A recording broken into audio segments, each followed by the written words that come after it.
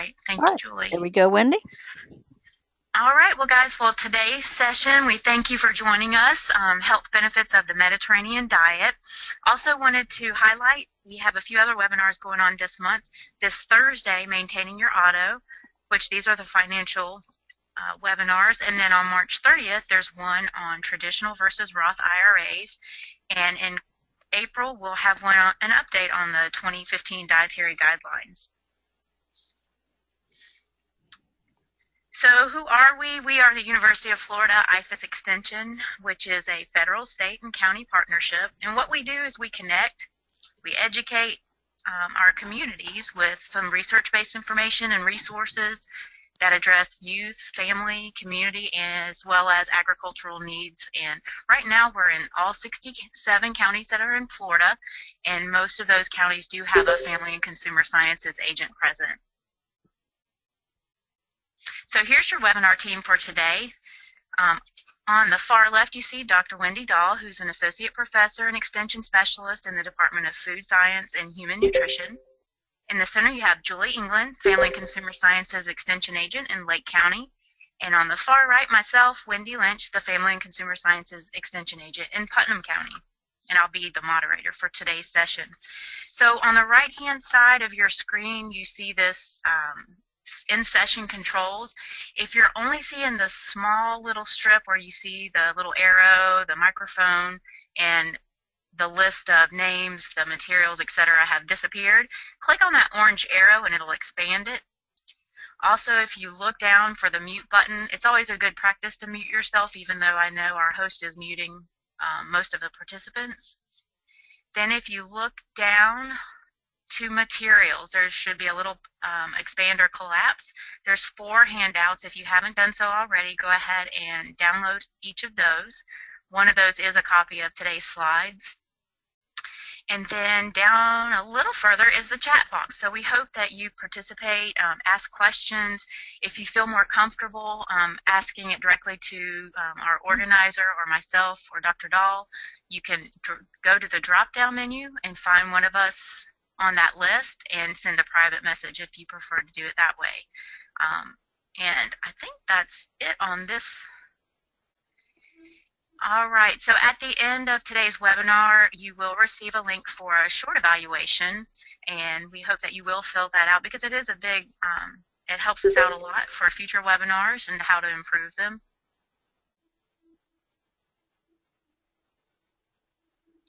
And without further ado, today's webinar, Health Benefits of the Mediterranean Diet. Thank you, Wendy. Um, so I guess I actually have the the really lucky role today because I'm going to be talking specifically about the health benefits, and then Julie's going to take over and help you make some decisions and give you some ideas of how you can actually incorporate the Mediterranean diet. But what I thought we would do is we'd start with a case study. So our case study today is DJ. She's a 50-year-old female in good health, and so if you want to change DJ's age, feel free to. She could be 30, she could be 40, she could be 60, because the the evidence that I'm going to present in terms of the health benefits of the Mediterranean diet uh, clearly shows that it's actually never too late. Never too late to actually start adopting some of these changes for the health benefits. So DJ has been turning, turning 50. She's thinking about her health and wellness. We tend to, we always tend to think about our health and wellness when we hit those those critical um, decades. She is wondering if any um, changes she could make to her diet that would be worthwhile, that would really make a difference in her health and wellness as she ages. And so she's hoping, of course, to stay healthy for you know at least a, a 20 years, maybe 30 years. And her biggest fear is dementia. So what, what sort of advice should we give DJ in terms of her health? So there's all sorts of information out there. Um, lots of different competing things in terms of what we could do to improve our health. I mean, there's some people that decide to become vegetarian for those health benefits. Um, there's the push for organic foods. Um, definitely, we hear about in terms of all the you know the the uh, negative health effects of some of the processed foods that we consume. But we have to remember that um, processing could be as simple as grinding or perhaps canning, those types of processes. And some of those foods, of course, are, still have health benefits. So we perhaps don't want to totally um, dismiss processed foods. Um, should we snack? Should we not snack? Should we choose functional foods that have perhaps, you know, added fiber or probiotics, you name it. There's so many things out there. And there's a lot of research out there to support some of these and, and another thing you hear in terms of whether or not you should have a multivitamin, mineral supplement, whether you should supplement specifically. And these have been strong trends in terms of looking at, you know, some panacea that's going to really help our, our, our health and, and that sort of thing. Um, but I would challenge you today that perhaps perhaps you don't need to choose any of the above. And perhaps the strongest evidence for health benefits now call a dietary pattern approach or a diet pattern approach. So looking at the big picture versus focusing on individual things like organic versus non-organic. So who should DJ believe? Okay, in terms of, of who should, should she she believe expert opinions in terms of what sort of choices to make. So we can think about the Dr. Oz's of the world and individuals like that. Um, should she listen to health professionals? Should she listen to the dietary advice of her physician? Um, should she be searching on the internet, which we all tend to do, um, search for the answers to our, our health problems and that type of thing on the internet? Should be, she ask a neighbor? Should she read a book? And I would think, you know, the answer to any of these, there's not really a yes or no answer to any of these because um, some of the experts out there, some of the things they say are accurate, some are inaccurate. Health professionals, the same thing. Some of the things that the physician may say in terms of nutrition are accurate and perhaps some are out of date because they have a lot to keep up on. The internet also, depending on the information and the source of information, it could be right on or it could be, of course, totally bogus. And your neighbor, it all depends on who your neighbor is, and even more so in terms of where your neighbor is getting their evidence. And books also. Books can can have good information, not so good information, but what influences or what should influence us the most is what is the evidence in terms of oops, what is the evidence in terms of of really where do we have research that provides us the evidence of true health benefits. Okay? And so what I'm going to present to you this morning is the evidence at this top of this pyramid. We often uh, see information, you know, in the headlines of the newspapers and things like that, that, um, you know, a certain spice or a certain vitamin or um, certain food's going to have a tremendous health benefit. But then if you read farther down in the article, it might have been an animal experiment. Well, we should never make a decision on human health based on animal research. Animal research, test tube research, that's important in terms of finding out how things work and testing things. But we should always make our decisions based on the highest level of evidence is right up here at the top of the curve. The, um, things like, for instance, a case report, that would be like if it works for your neighbor, it should work for you.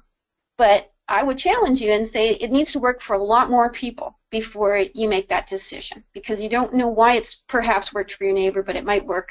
It might work for you, but it might not.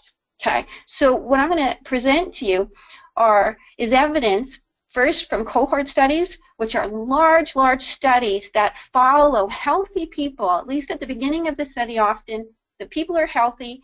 They follow thousands of people into the future um, ask them about their diet intake and through the years, and then find out what diseases they develop and, and which ones don't develop disease. So I'm going to talk to you about that. That's the type of study used for prevention. Okay, so the decisions that we make if we want to prevent, for instance, breast cancer or heart disease, we rely on those types of studies.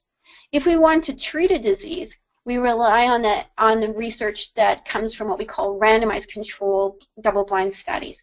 Those are experimental studies where they test a nutrient or a dietary plan to see if it works. Okay? So next slide, please. So now let's start talking about the Mediterranean diet. And as I already mentioned, I have really a lot of good news to say in terms of the evidence that's out there on the health benefits of the Mediterranean dietary diet pattern. Uh, it really all goes back to the 1970s. There was research collected, it's called the Seven Countries Studied in the 1970s, published in 1980, and they noted that these farmers in Crete, uh, so that's in the middle of the Mediterranean, consumed a diet that was very high in fat but these farmers had very low cardiovascular disease, so low risk of stroke, heart attack. Um, is just quite amazing, actually. And so here we are, decades later, and um, now we're just really trying to move into eating in a dietary pattern similar to what these farmers ate in the 1970s.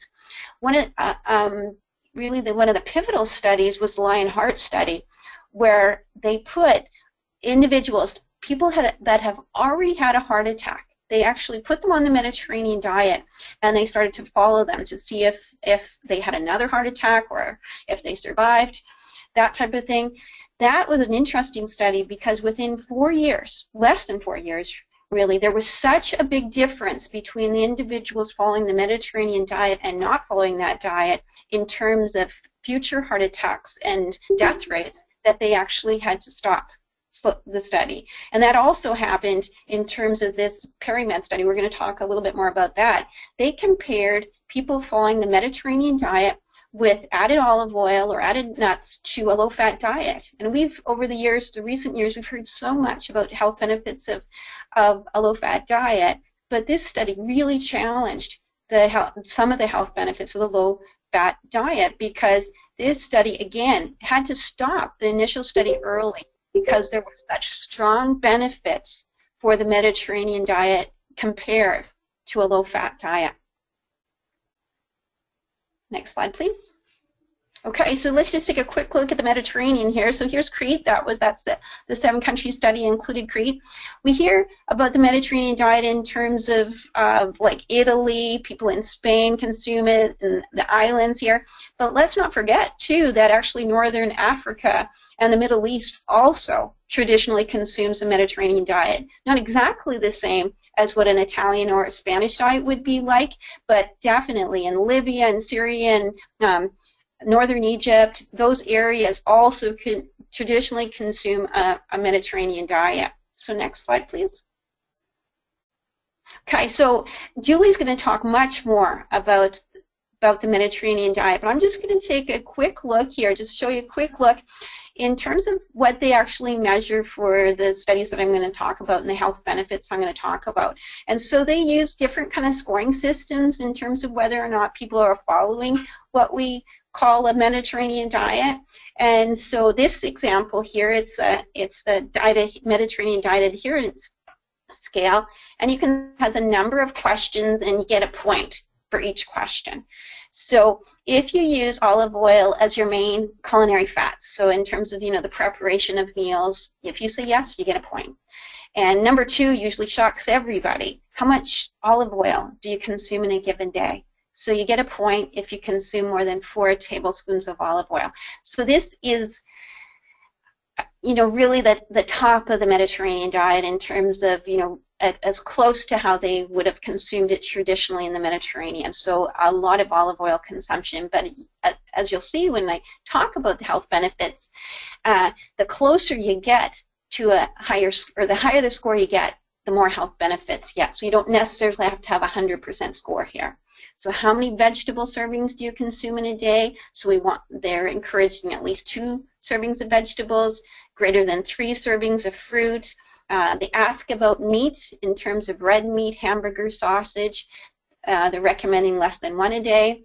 Uh, also with butter less than one a day, carbonated beverages less than one a day, wine, they're encouraging up to seven glasses plus a week and legumes, so beans, peas, and lentils greater than three servings, a week, and fish. So, so really what they're asking is less red meat, more fish consumption, so greater than or equal to three servings a week, and also to really um, limit any kind of commercial sweets. So those are the donuts, the cakes, the cookies, biscuits, and to incorporate nuts. So more than three servings of nuts a day, and uh, some lean meat, like for instance chicken and turkey. And I don't know if too many people eat rabbit these days, so it's on their list. And and really, the, the last point there is whether or not in whether or not you consume these kind of pasta dishes, pasta dishes with vegetables prepared with tomato and onion and garlic and olive oil. So that in a nutshell, that is one of the many of the research studies use this scale to evaluate how close people are, are coming to the Mediterranean diet. Okay, next slide please.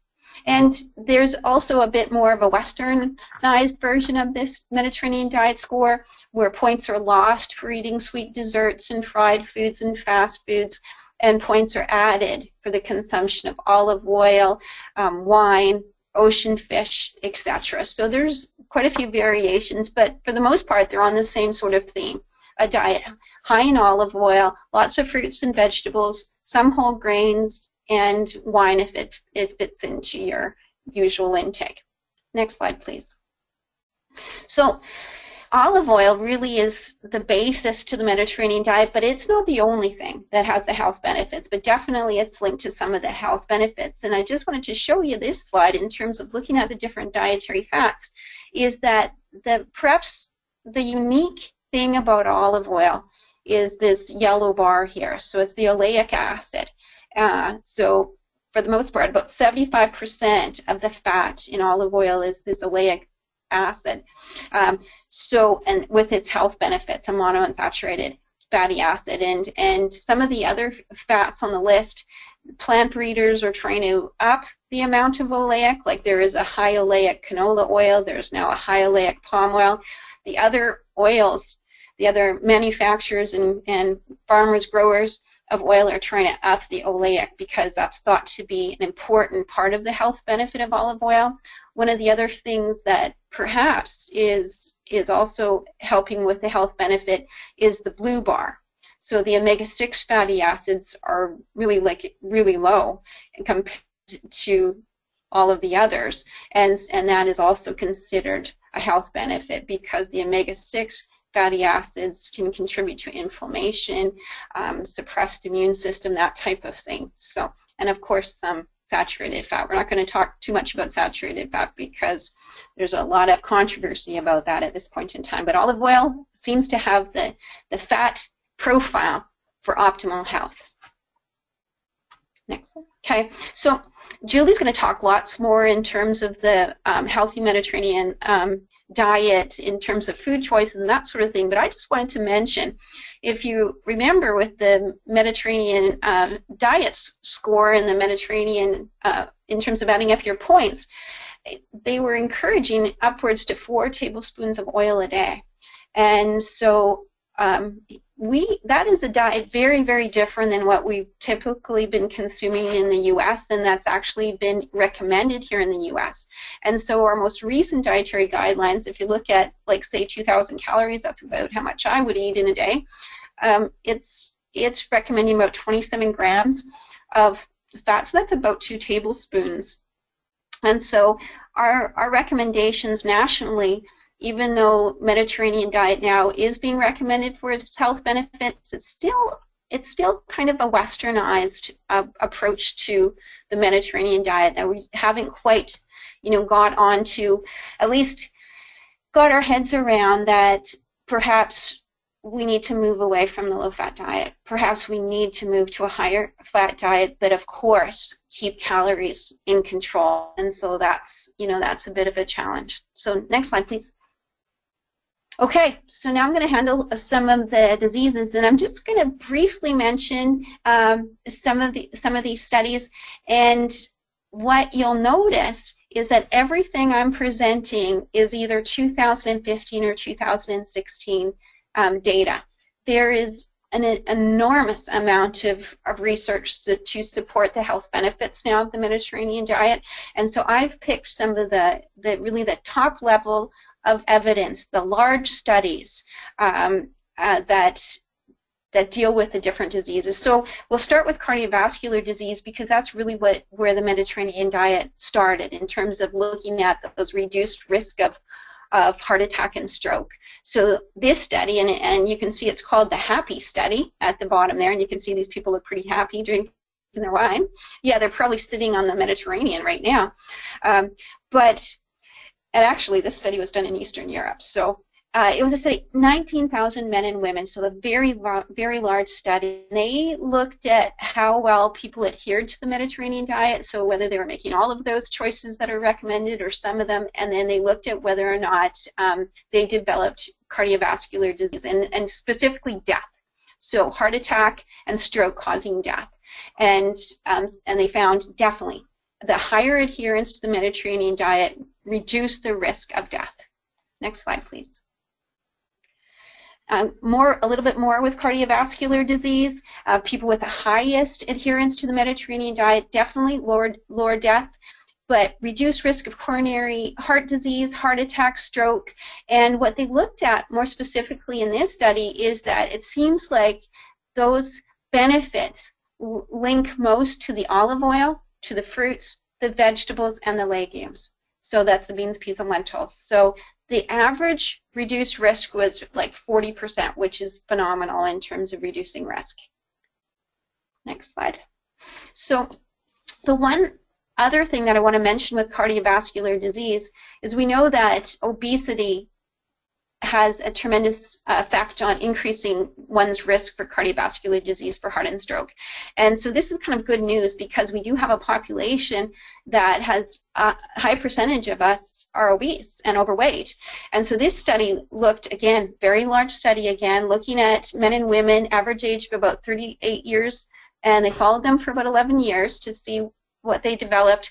And so there the, again, the better adherence to the Mediterranean diet was re, was associated was linked to these reduced risks of heart attack and stroke. But what they concluded was that it seemed to lessen the harmful effects of overweight and obesity, which is which is fabulous news because that even with existing overweight and obesity, following the Mediterranean diet is going to help reduce heart attack stroke risk and that's great news. And there's also evidence that it, it's never too late, that that heart and stroke risk can drop even if you start consuming the Mediterranean diet at 60 or older. Next slide, please. And so with blood pressure, uh, this this um, research looks at about seven or six studies, more than 7,000 people that followed the Mediterranean diet, and and definitely it has a beneficial effect on both the systolic, the high the high number, and the and in individuals with normal, so even people with normal blood pressure, it'll bring it down. But mild hypertension definitely also brings it down. Next slide. The one thing about the blood pressure, though, is that it seems to be clear that it's not just the Mediterranean diet that works for blood pressure. Also, the DASH diet, if you that's a that's a low fat and high fruit and vegetable diet. Um, also, the Nordic diet that's kind of up and coming.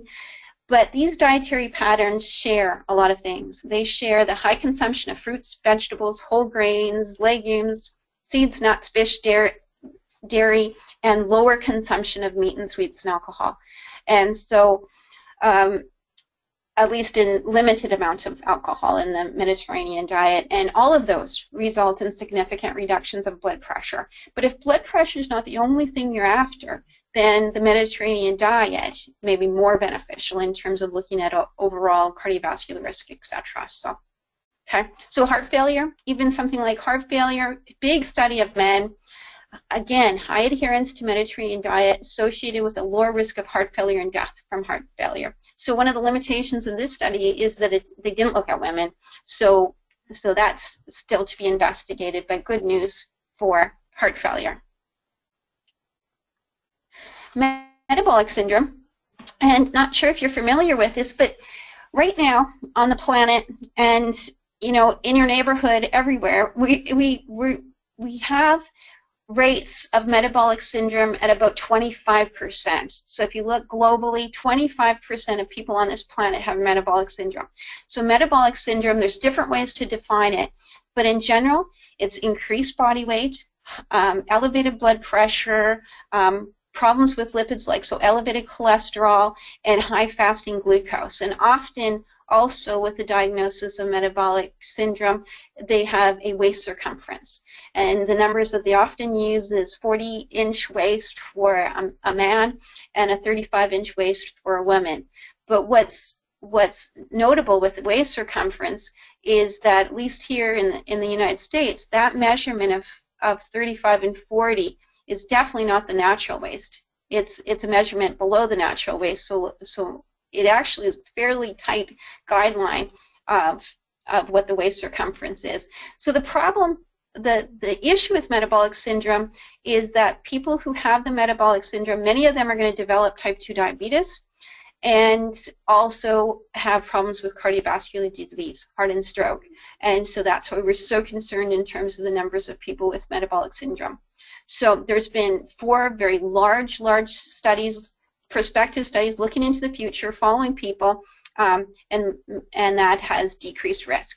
And also, um, on this next slide, um, metabolic syndrome, for each, it, it gives you some um, data here, for each 10% increase in your Mediterranean diet score, so that's one to two points in the score we looked at, was associated with 15% lower risk of cardiovascular incidence, so actually being diagnosed with cardiovascular disease, which is great news because if you can if you can get you know three four points more in the Mediterranean diet score, you perhaps can reduce your risk of cardiovascular disease by 30%. Okay, next slide. So also with type 2 diabetes, the Mediterranean diet is, so people with existing diabetes, uh, if they follow the Mediterranean diet, it's associated with better blood sugar control and cardiovascular risk factors like cholesterol and blood pressure also, than compared to um, a diet lower in fat. And right now that's been you know really that's been the norm in terms of recommending you know for um, diabetes prevention and diabetes management is a lower fat diet. But the evidence suggests that the mediterranean diet may be better. Okay? So definitely suitable for management weight loss weight loss i mean weight loss is difficult and it's hard to get success but it looks to be that following a Mediterranean diet gives about the same amount of benefits as following a low carb diet. And if you look at all the diets, whether it be you know, all the evidence of testing all the different diets out there, um, a low carbohydrate diet seems to be the most effective, but it, but it doesn't have the other health benefits of the Mediterranean diet. So, like for instance, you know, following a, a high protein diet has some negative um, metabolic effects in terms of cholesterol and blood pressure, those types of things, even with weight loss. So the Mediterranean diet is beneficial in terms of weight loss, but also has all those other benefits in terms of reducing blood pressure and, and blood glucose, etc. Muscle mass. So this is, and I was actually surprised at some of these because I searched and searched to see, you know, how many diseases have they actually even looked at, and I was surprised to see that they've even studied the effects of the Mediterranean diet on muscle mass. And this is something really up and coming. We, we now know that there's a significant amount of evidence that by the time we get to be 50 years old, we, we really start to lose muscle mass quite quickly, especially women because they have less to lose. So it's a big issue. And so there's evidence that um, following the Mediterranean diet, you're to you have an increased muscle mass. So so fabulous news. So less risk of becoming frail and weak um, in your later years. Arthritis, well, and I kind of um, looking at arthritis and autoimmune disease and those in, in general, there's where there's not um, much evidence yet. In, in general, all that they found for at least people that have arthritis is that it helps with their risk of, again, cardiovascular disease because people with arthritis have an increased risk there. So there's not really much evidence in, in terms of uh, looking at you know the inflammation of, of diseases like arthritis, but I guess we'll see. Maybe more studies will be done. Okay. More good news, if we look at adherence to the Mediterranean diet and risk of cancer, it can't get any stronger than this. The Mediterranean diet is associated with lower risk of overall cancer mortality, so death from cancer, as well as the incidence, so actual diagnosis of colorectal cancer, breast cancer, gastric cancer, which is stomach cancer, prostate cancer, liver, head and, and even head and neck cancer. You know, and, and of course, people with the highest risk of head and neck cancer are, for instance, smokers, etc. So fabulous news in terms of prevention, but there's also good news in terms of treatments. And or next slide, please.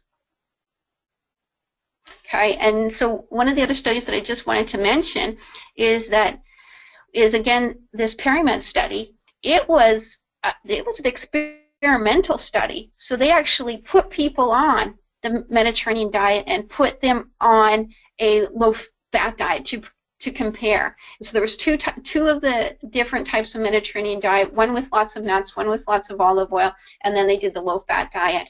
And you can see in the in the conclusions here, they say that that the Mediterranean diet, particularly supplemented with the olive oil, is is effective in, in preventing breast cancer.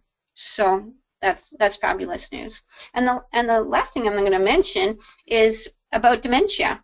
If you remember, that was DJ or case study's worst fear in terms of developing dementia.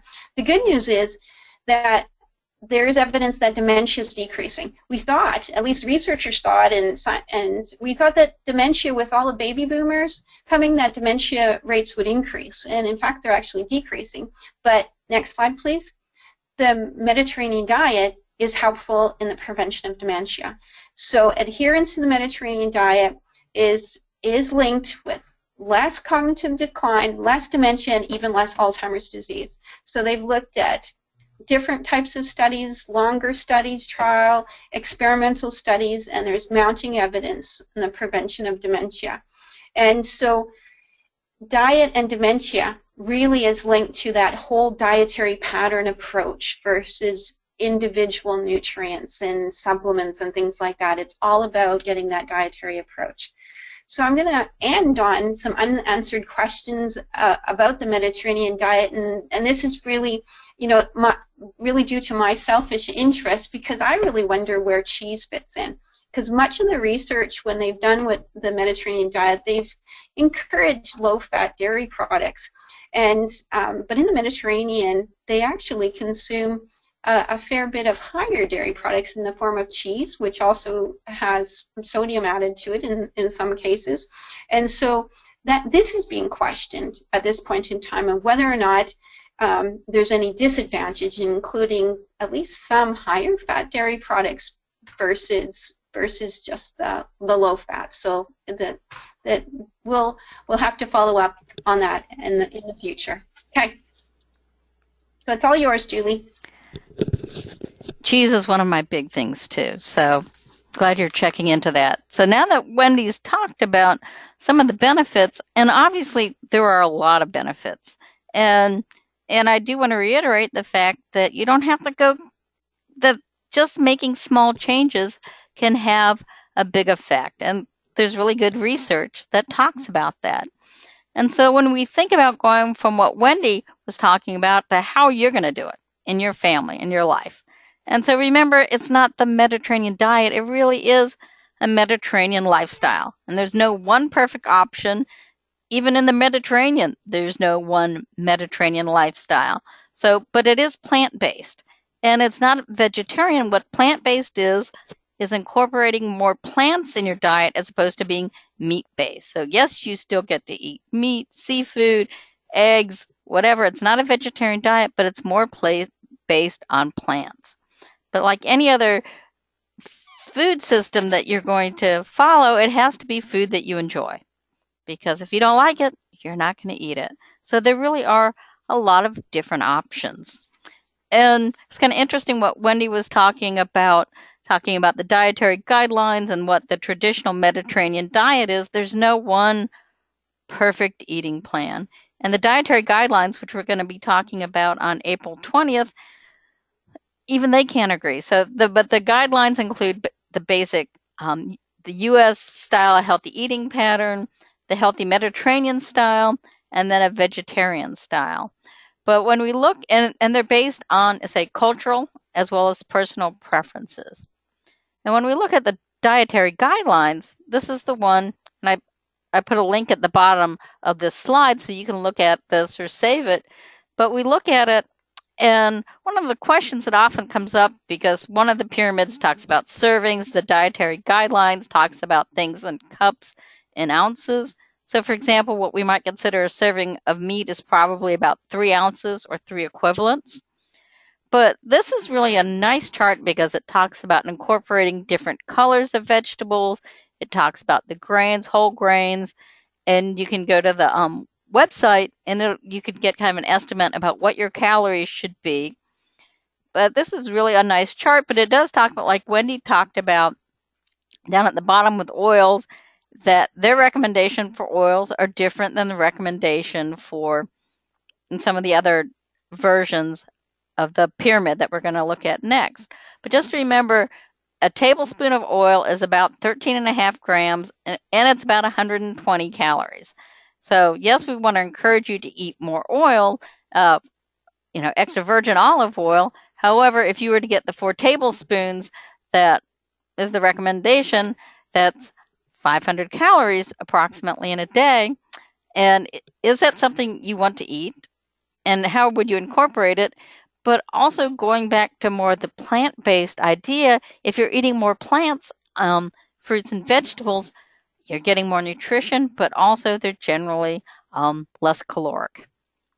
And so in your handouts, you've got two different versions of the Mediterranean diet pyramid. And this one's from your, um, there's a handout that says it's called Old Ways. And so it's in there. And this one, it's nice and pretty. And it talks about, you know, gives you the pyramid and things like that. But I really prefer the next one, which is in your handout from, if I get my slide to change, there's a link to this version of it down below on the slide, and you'll get the slide set so you can get the links. But in the handout that's from um, University of Arizona, it's also in there as well. And I like this one because it tells me more. So I know when I look at this pyramid what the recommendations are. And one of the things kind of towards in the bottom and kind of the teal colored slide, it talks about water and herbal infusions. We really haven't talked about sweetened beverages today, but we want to emphasize the importance of having less added sugars, you know, not drinking sodas, things like that. So think about that. But and we're going to go through this all together, so I'm going to skip through it. And down at the bottom of this pyramid, it talks about the non-diet recommendations, which include regular physical activity. So very important for you know, in some ways, it's the magic bullet for good health. Regular physical activity is great, is really, really important, but also getting adequate adequate rest. But other parts of the pyramid also, especially this version, talks about social and cultural values of meals. You know, getting together to to talk, um, the biodiversity, seasonality. This version even goes into eco-friendly products and culinary activities like cooking as a family, things like that. So it's not all about diet and what you eat, it's a lifestyle involved as well. But the dietary dairy part focuses on fresh, real food, seasonal food. And no processed foods aren't evil, but we should be eating less of them, but also to look at the difference between minimally processed versus you know, highly processed foods. The more processed a food gets, the more likely you are to have more additives that you don't want. Trans fats, sugars, you know, saturated fat, fats, things like that. But to focus on real food, fruits, vegetables, whole grains, legumes, nuts, fish, and seafood, lean meat, and healthy fats.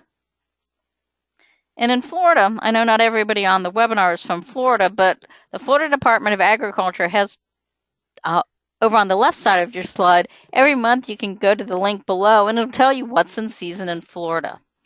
And also, the University of Florida has a nice little wheel that all shows shows you some of the seasonality of Florida. And so think about eating what's in season. What you're doing is you want to focus on the flavor because our goal isn't deniable food, is to deny yourself something, but you want to improve your eating plan. Going back to what Wendy was talking about, which was making small changes towards the Mediterranean diet, even if you make a few of them, it can have positive good effects on your health. So making more of them, certainly a bigger change. And to go for quality ingredients. When I think of quality ingredients, chocolate comes to mind, which is one of our sometimes foods. But if you're having food that has more flavor, you can eat a smaller amount of it and it satisfies you. So think about that fresh flavor, you know, using herbs that gives your food flavors that pop. And for example, in our picture in the bottom of the slide, we have a sandwich that we've added, you know, radishes and it's either cucumber or zucchini, I can't really tell, and fresh lettuce. So you're adding fresh things, you're adding fresher flavors, and so you're probably going to be more likely to be satisfied with it. And of course, choosing a whole a bread that's got more whole grain in it as well. So thinking about that less may equal more. So simplifying your food pre- preparation and thinking about even if all you do is if you're preparing a food if you're just adding more vegetables into it. You know, you don't have to completely change the way that you're doing everything. To, um, you just need to make some changes to modify what you're doing and how you're doing it so that it fits into your lifestyle. Because if it's not going to fit, you're not going to follow it. And so here are some of the recommendations that are, some of them are slightly different than the dietary guidelines. These are based on the pyramid from this slide. But, but to think about every meal, one to two servings of fruit, vegetables, two or more servings of vegetables, you know, and preferably fresh, but certainly frozen um, or minimally processed, canned if you have to. Olive oil, and when we're talking about olive oil, we're talking about extra virgin olive oil. We'll talk a little bit more about that towards the end, but olive oil, and then of course, what kind of grains are you having? Bread, pasta, rice, you know, preferably according to this one, you know, two servings per meal. But every day, importance of getting dairy, preferably low fat, especially for at all age, everybody needs to have um, dairy products, making sure that they're getting their calcium. And then the new emphasis more so on, on adding nuts and seeds um, as a good source of protein and also healthy fats. And then seasoning your food with herbs, spices, garlics, and onions, which equals less added salt, which can potentially help with blood pressure, but they also add flavors and making sure that you have a variety of flavors as well. And then when we think, and I and I hope some of you, and we've talked about this previously, I hope you do plan your meals weekly, or at least for several days in advance, because it really will help you eat healthier. And so one of the things to think about is less potatoes. Um, no, potatoes aren't evil, but you know, aim for you know French fries.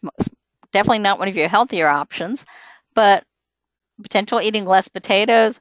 Um, white meat having two servings a week, um, fish and seafood two or more, eggs um, two to four, legumes.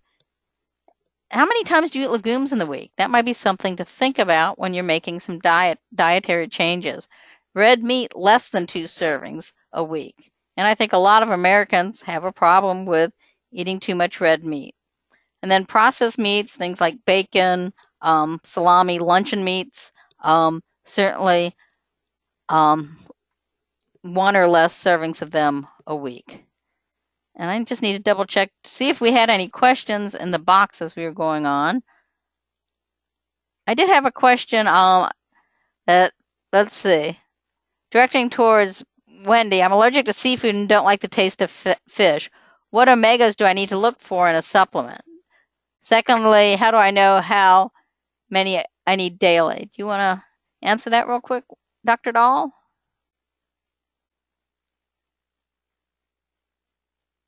Either she's muted or we'll go back to her. All right. Sorry, I was, but I'll, I'll, I'll, I'll send. Uh, I'll, I'll, can we send it? Answer that um, later? Because sure. that's a pretty specific question. Okay. Thanks. All right.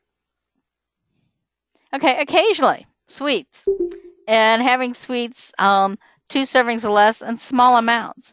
And aiming for no trans fats. You know, when you're buying processed foods, trans fats can be a problem. So, especially if you like sweets, think about, you know, certainly reading the label, but also if you make your own, if you love cookies, making your own oatmeal cookies and freezing them, things like that.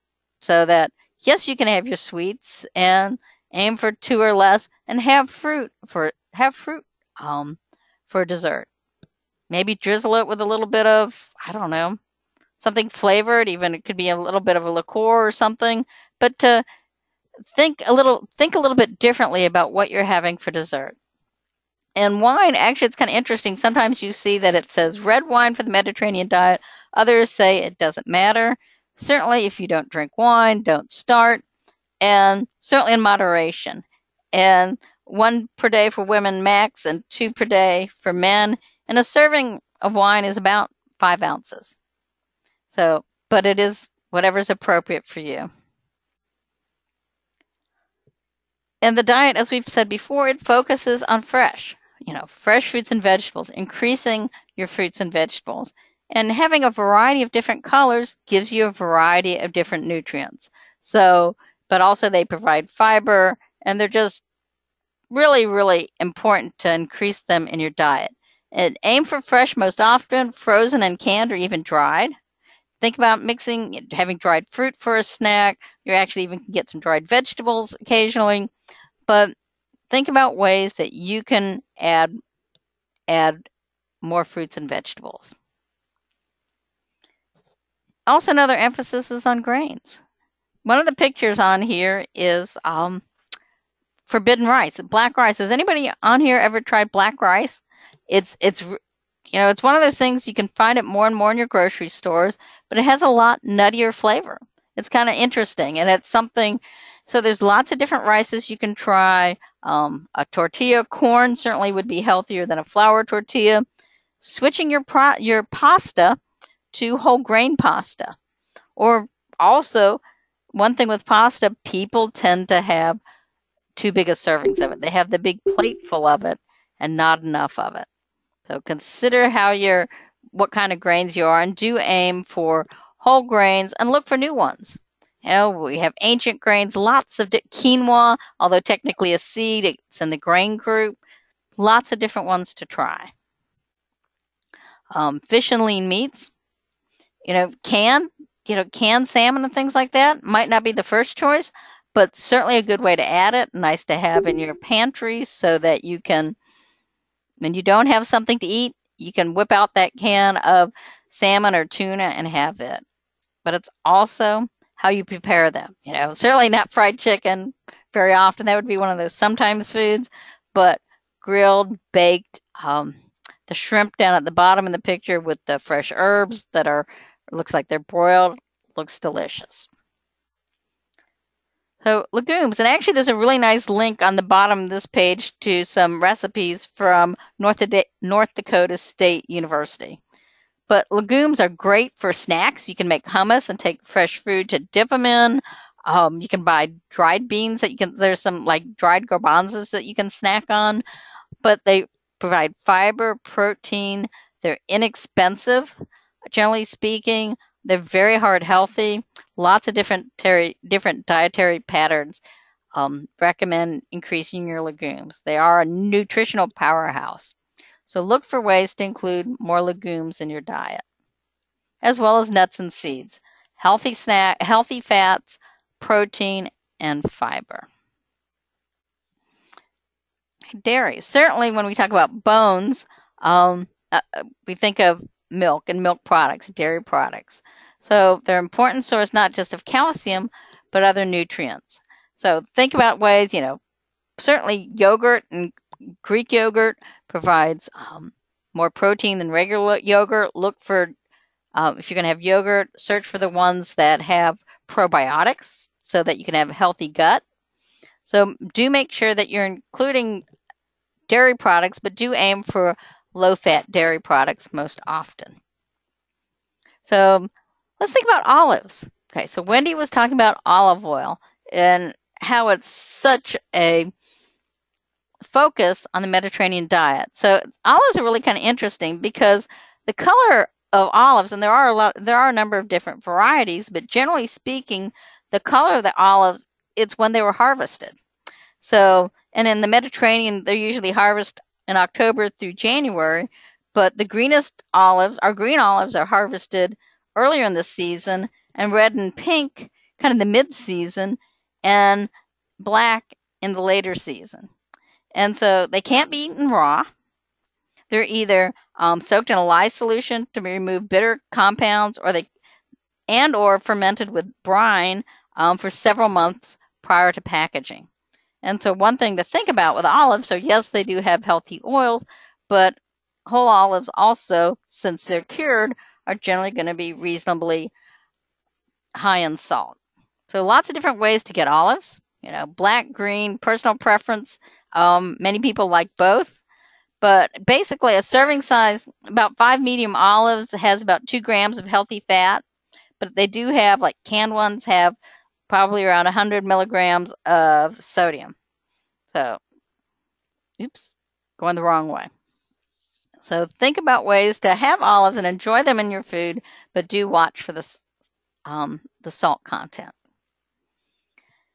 And so when we look at another question we have is olive oils. What kind of olive oil should I buy? It's kind of interesting. The third one down on our chart, light olive oil, people say, oh, it's light. It must be healthier. It must be low calorie. Well, actually, light olive oil is a refined oil. It's been refined to be light in flavor. So we want to encourage people to be eating extra virgin olive oil because it's the most flavorful and healthiest. It's and it's naturally produced without heat and chemicals. And it's got it retains its healthy antioxidants from the olives. And so you make it by either crushing the olives without adding any heat. You'll see sometimes it'll say cold pressed on it. But but the other ones are refined. And it, like anything else when you're processing something, you're lose you're losing something. So with the refining of the olive oil, you're losing some of the antioxidants, some if not all of the antioxidants, and some of its healthy healthy um, healthy benefits. So basically, extra virgin olive oil, it's crushed. Sometimes they'll say the first crushed. Pure olive oil is refined, and they add back in some of the extra virgin olive oil to give it some flavor. Say light olive oil is also refined. They've just refined it a little bit differently to keep it light flavor. And then sometimes you'll see pomace oil at your grocery store. And it's actually been further refined and it's um, from the pulp. So they extract some of the oil. So you're definitely losing some of the health benefits, or if not all of them. And to be labeled as extra virgin, this is kind of a long slide, so I'm just going to kind of skip over it, but there are certain standards related to what's classified as extra virgin olive oil. So do look for it. And some things to think about when you're shopping for olive oil is what it it doesn't get better with age. So, you know, keeping it doesn't matter. You want to maybe if you don't use a lot of it to maybe buy smaller quantities of it and get fresh more often. Uh, one of the things that sometimes you hear about is keeping in a dark bottle can help stop it from degrading, very pro- possibly. And also, but do store it in a cool, dark place and take care of it, but do rotate it. There's lots of different olive oils out there. There's infused olive oils, which are kind of interesting. I've used some of those, and they're quite tasty. But just do make sure that you're going for the extra virgin olive oil. And a great way to add olives, to add olive oil into your life is to use it for a lot of different seasonings. You could drizzle it over vegetables, making your own salad dressings. Salad dressings tend to have a lot of salt and other things in it. So the link at the bottom of the slide is from University of Nebraska Extension, and it's got some really, it's got some recipes for doing fresh oils, um, fresh salad dressings. So the classic French vinaigrette is three three to four parts oil and one part of acid, which could be vinegar, could be citrus juice. I actually prefer personally prefer more of a tang, so I usually do mine half and half, but it's fun to play with them. And that you can whisk them together, add fresh oils, I mean fresh herbs, dried herbs, and then make them in small amounts, store them in a glass jar, and make them fresh every couple days. It'll perk up the flavor. You can say they're great on different things like um, vegetables, things like that. Which leads us to how do you season your food? One of the things that we're focusing on is adding um, fresh herbs. And also it mentions onions and garlic, all of my favorite things. But think about how you season your food when you're adding fresh herbs. You're also adding some nutrition. A lot of herbs have quite a lot of antioxidants in them. So buy fresh, start an herb garden, go to your local extension office or go on our website and find information on growing herbs in your area. Depends on what state you're in. In Florida, we have a whole lot of different seasons for growing herbs than you would, say, if you're in Wisconsin. So when we think about this whole big picture of the Mediterranean diet, about how we're going to eat healthier, how are we going to incorporate these healthy ideas into our life? And it begins with, first of all, planning, thinking about what it is we want to accomplish, what we want to eat, making our making our list, planning our meals, finding recipes, or just modifying things that we're already making and making changes of them to make them healthier. You don't have to change your whole life, you just want to tweak it a little bit, make it better, and make these changes one step at a time. That's going to make it easier. So, do aim to choose fresh most often and try to eat seasonally. If you get a chance, go to the grocery go to the farmers market or even look at your grocery store and see what's from grown in Florida this time of year. So it's not getting shipped in from wherever. Try to eat stuff that's fresher, it's going to have more flavor. And making these changes and teaching your kids as you go along to involve the family to teach them healthy um, healthy habits at an early life. And in your in your materials, there's this nice handout that has all your Mediterranean diet shopping list with some good ideas. So getting started, Wendy Wendy Dahl loves this picture with the Mediterranean because it has Nutella on it, which um, I believe does have trans fats. But think about remember cutting the sweets, having them less often, you know, avoiding eating out, change how you snack, more fruits and nuts. Uh, think about count instead of counting calories, count the number of fruits and vegetables you're having a day. If you do that, you're going to automatically reduce your calories and you're going to increase your nutrition and health by increasing your fruits and vegetables. That's probably on this list one of the biggest things that you can do to make a change is counting fruits and vegetables, not the calories. You know, up your intake of fish and seafood. Eat red meat less often. And alcohol in moderation if you choose. And say, do add that extra vegetables. Uh, one last slide before we'll talk about the, look at the questions. Finally, truly, making small changes in your diet can improve your overall health. And making these changes towards the Mediterranean lifestyle has been shown through research that it can be very helpful. You don't have to make them all at once. You don't have to make them all, but you can make them. So focus on fresh, flavorful foods, focus on healthier oils in your diet, and always include physical activity in your plan. So with that, let's go back and um, check the check the box. Let's see. And if Wendy there was one Yes, mhm, there was ahead, one Wendy. question about um, there was one question about keeping salads fresh, whether or not to take them out of the plastic bag. Um, and I know Dr. Dahl mentioned um, she buys her vegetables much more often to keep, you know, obviously to keep them fresh. I know in my household, um, one bag doesn't last very long, so I portion them out. And actually, I kind of do what Becky suggested about meal planning and go ahead and put them in glass containers. That's what I use at my my home, and they tend to last um, longer than they have than they do actually go bad. Um, anybody else have suggestions? Feel free to type that in the chat box.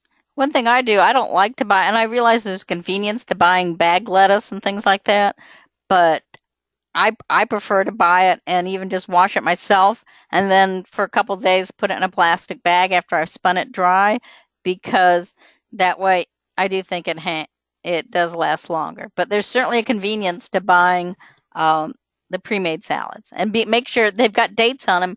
Make sure that when you buy them, maybe you're reaching to the back of this thing, making sure you're getting the one with the, you know, the most recent date. Okay, somebody. And the other question Mhm. that was asked from Becky, I've, I've got um, her contact information, so Dr. Dahl can answer that question. And portion control, I found that containers that I need to eat daily for food and break up my food items in the container per day. And that's really good too about certainly portioning them out. It's like, oh, well, I know I have this much to eat. Uh, so I can spread it throughout the day because sometimes if you don't portion them, you don't eat enough of them. Or you eat, depends on what it is. You may be eating too much or not enough. And let's see, any other questions? First of all, and we want to thank you all. I will be sending out the um, evaluation later in the day, as well as the link for the recording.